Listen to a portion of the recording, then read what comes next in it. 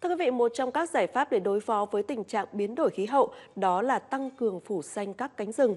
Tuy nhiên, tại à, một trong những rừng nhiệt đới lớn nhất hành tinh thì nhiệm vụ này lại đang gặp nhiều thách thức. Rio Terra, một tổ chức phi lợi nhuận tại Brazil, đã trồng hàng triệu cây non trong rừng nhiệt đới như một phần trong nỗ lực tái trồng rừng nhằm khôi phục những khu vực rừng bị tàn phá do hoạt động khai thác gỗ trái phép và chăn nuôi gia súc trong khu vực.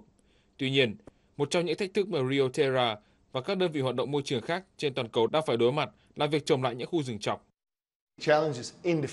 Có những thách thức trong lĩnh vực, một là hoạt động hậu cần, thứ hai là lòng tin. Bởi vì chúng tôi cần sự tin tưởng của cộng đồng địa phương. Thách thức khác chắc chắn phải nói tới là nhu cầu mà chúng tôi phải xây dựng cơ sở hạ tầng gấp nhiều lần. Nhiều khi, chúng tôi phải làm đường xuyên qua khu vực trang trại để đến khu bảo tồn.